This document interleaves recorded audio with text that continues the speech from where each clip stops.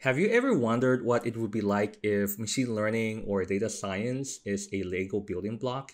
Well, if that sounds like an interesting idea, then I think you're going to love the Dolphyn machine learning platform, which allows you to treat your code snippets as kind of like a code block that you could reuse in your data science projects. Today, we have the pleasure of having Rohit Rajan, who is the co-founder of Dolphyn. So Rohit will be walking us through the end-to-end example of reading in the data, processing the data, building a simple machine learning model, and finally deploying it as an API. And all of this within the Dolphyn platform. And so without further ado, we're starting right now. Rohit, I'm one of the co-founders of Dolphyn. Dolphyn's a workspace to help you build ML experiments, and it features a number of low-code components for things like EDA and deployments help you build and deploy your models faster. We're going to walk through an end-to-end example here, and I'm going to show you exactly how the product works. So let's get started.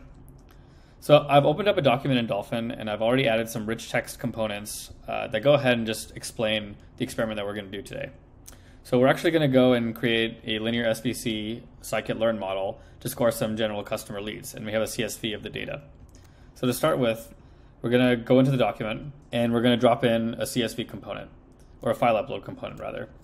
And so we're going to go to the slash command, and this is your portal to add a number of code blocks and embeds and a number of other sort of helpers to help you build your experiments faster. So we'll find CSV. We'll drop the upload in, or the embed in, sorry. Let's get the CSV we want to use.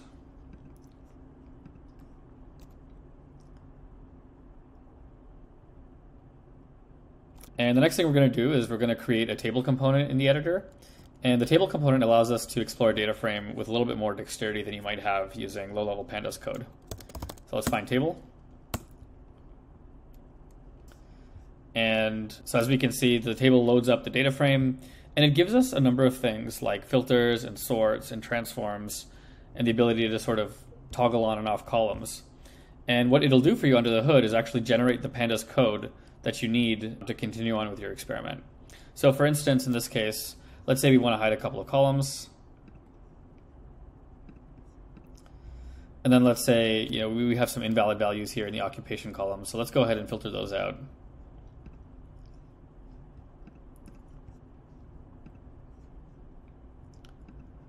Great. And let's also cut out some folks who have never visited the site.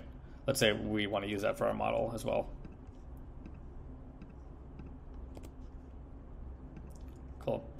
And there's a number of other things here, and there's a separate video we've recorded that goes more in depth into into what the table component can do for you. But let's say we're generally happy with this. Let's go ahead and actually save this data frame that we've just created. And along with it, we'll actually paste the code. So we can see it generates sort of the function and, and creates the actual pandas code that we require to generate sort of this cleaned up version of the data frame. Uh, so the next step is to actually go in and transform and encode uh, the data frame so we can use it as part of our model. So what we're going to do here is Dolphyn provides some code blocks out of the box, and you can actually create and reuse your own blocks of code across experiments. But in this case, we have the code blocks we need for encoding. So we'll go and find one hot encoding, and we'll just say we want to actually encode the, the categorical column. So the, the two of them are occupation and origin. So let's grab those, and we'll do it again.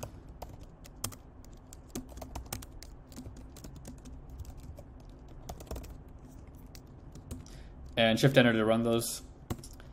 And now we actually want to do the min-max scaling. So again, we'll go back to the slash command. And you can see it's sort of quite quick and, and these code blocks are actually parameterized. So it's pretty quick for you to sort of move through them uh, as you sort of work. And the names of the columns are total visits and time spent are the numerical columns.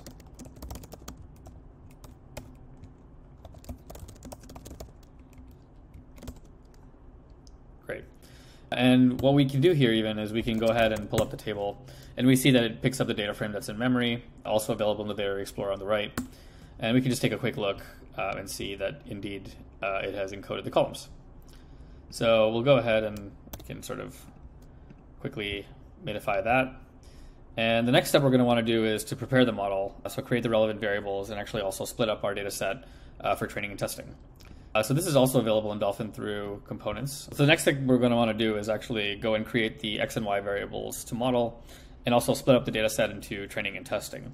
Uh, and these are also actually available out of the box through the slash command. So first we're going to want to get the input output split. And we'll say the data frame and the column name that we want to predict is called converted. So we'll type that in.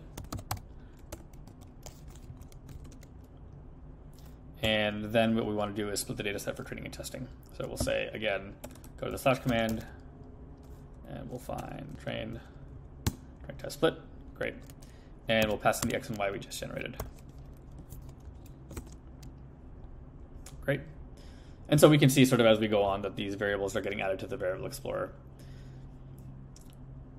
Great. And now we're I think we're ready to build our model. There's a number of modeling functions that are available out of the box, and you're of course free to add your own through your own code blocks. But you know, a number of the popular scikit-learn models, Prophet models, and those kinds of things are already available.